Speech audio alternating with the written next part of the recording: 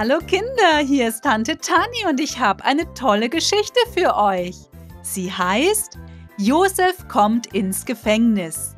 Den Merkvers finden wir in Römer Kapitel 8, Vers 38 und 39.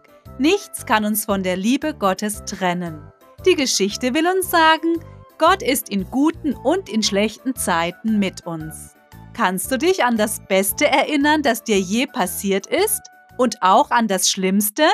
Wusstest du, dass Gott im Guten und im Schlechten mit dir war, so wie bei Josef? Josef konnte es nicht fassen. Gestern war er noch für das Haus seines Dienstherrn verantwortlich gewesen und heute ließ ihn sein Herr ins Gefängnis werfen. Josef wusste, dass er nichts Falsches gemacht hatte und er wusste etwas Wichtiges. Er wusste, dass Gott mit ihm war und für ihn sorgen würde, ganz gleich, wo er war. Der Gefängniswärter gab Josef etwas zu arbeiten. Josef arbeitete, ohne sich zu beschweren. Und jeden Tag sah der Gefängniswärter, dass Josef seine Arbeit gut erledigte. Es dauerte nicht lange, bis er Josef die Verantwortung für alle anderen Gefangenen übergab. Eines Morgens bemerkte Josef, dass zwei der Gefangenen besorgt waren. Einer war der Mundschenk des Königs, der andere sein Bäcker. Aber der König war auf die beiden wütend geworden und hatte sie ins Gefängnis werfen lassen. Was ist los? fragte Josef. Wir haben in der letzten Nacht ganz seltsam geträumt, antwortete der Mundschenk und kratzte sich am Kopf. Und wir wissen nicht, was sie bedeuten. Gott ist der Einzige, der Träume deuten kann sagte Josef, erzählt mir eure Träume.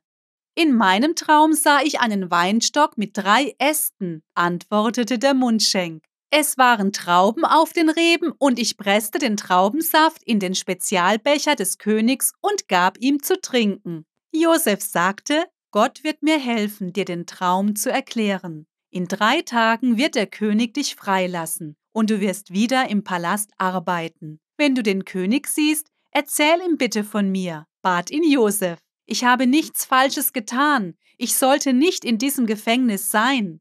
Dann sagte der Bäcker, Lass mich dir meinen Traum erzählen.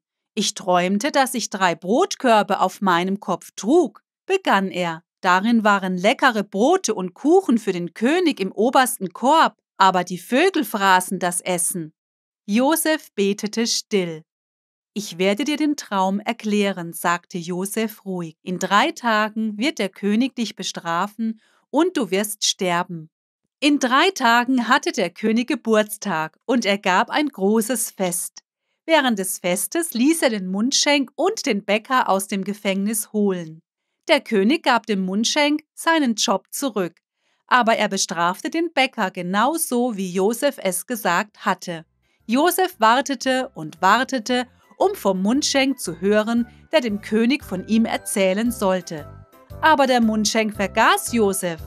Josef war traurig, dass der Mundschenk ihn vergessen hatte. Aber er wusste, dass Gott ihn liebte. Josef vertraute Gott, dass er sogar im Gefängnis für ihn sorgen würde. Musik